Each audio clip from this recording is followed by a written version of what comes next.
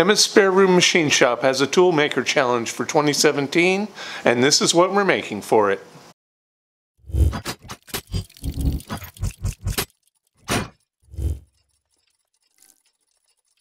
So if you recall from the intro video about the project, um, I was going to take a piece of aluminum and punch a hole in the end to accept a level and then uh, mill it into the appropriate shape to be a center finder. Um, the project's changed a little bit. I went to the local home center and I found this uh, cool um, level gadget and the coolest thing about it is I was able to just pop the levels out. I've decided since I don't have any aluminum of the appropriate size and once again I've waited until Saturday night to uh, start the project for a video that releases on Sunday morning um, I'm going to use what I have and what I have is this here and I think this is Delrin it's a lot harder than, than UHMW. I think it's Delrin. Uh, this should do just fine though for my center finder. The first thing I need to do, just like in the intro video, is punch a hole in the end to accept this level. And I'll just do that on the drill press. So the diameter of the level is 3 eighths of an inch. And I think that is a good distance to make it away from the edge. And I'll just mark that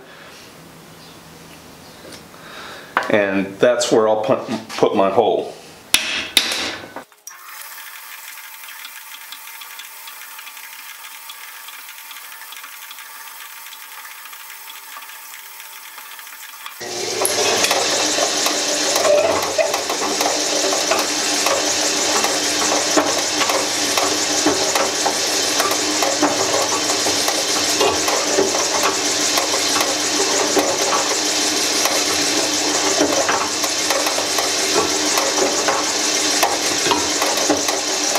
Now we'll mill in the window where you see the spirit level and then we'll also mill in the flat that will actually rest on the tool bit to find the center.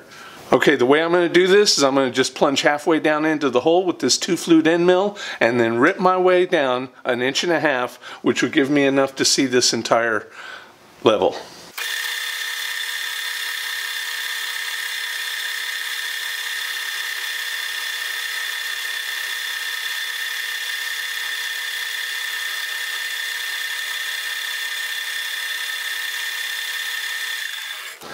Now I'll just take a swipe across there to give myself a flat surface to rest on the tool.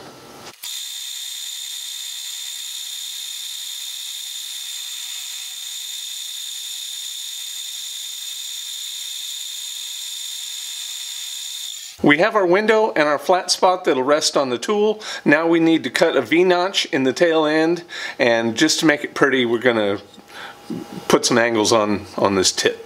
This project just hit a snag and that is when the tilt table is tilted, the workpiece cannot get close enough to the mill to actually be cut.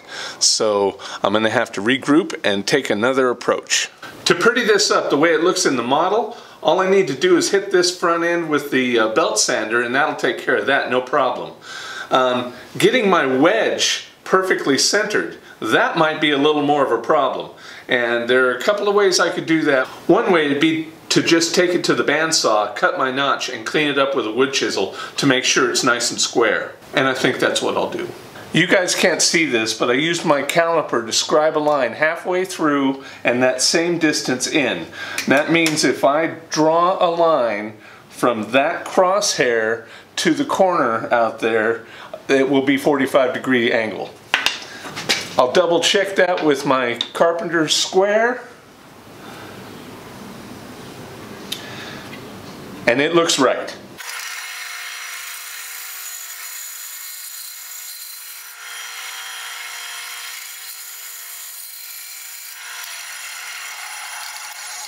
Okay, there it is. Now I just need to clean that up a little bit and then reshape the front of this.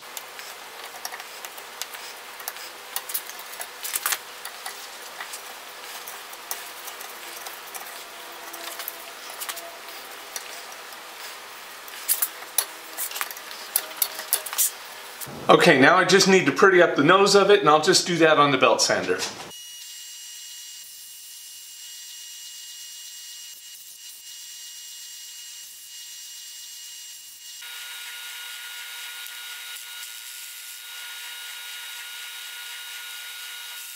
All that remains is to install the spirit level element into the center finder body and it's tight enough that I think friction will hold it in place just fine.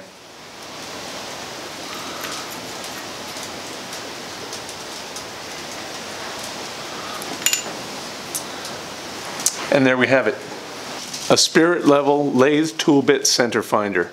And as a bonus, it only cost me about $2 to make. So that's my bid for Emma's Spare Room Machine Shop's 2017 Tool Making Challenge. It's not much, it's pretty simple. I had a couple of wrong turns go along the way, but hey, it turned out. I'll use it since I gave my last one to Harold over at the Amateur Redneck Workshop.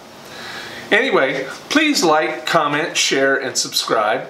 Click up here to see my last video. Click over here to see something of mine that YouTube thinks you'll like. And have a good one.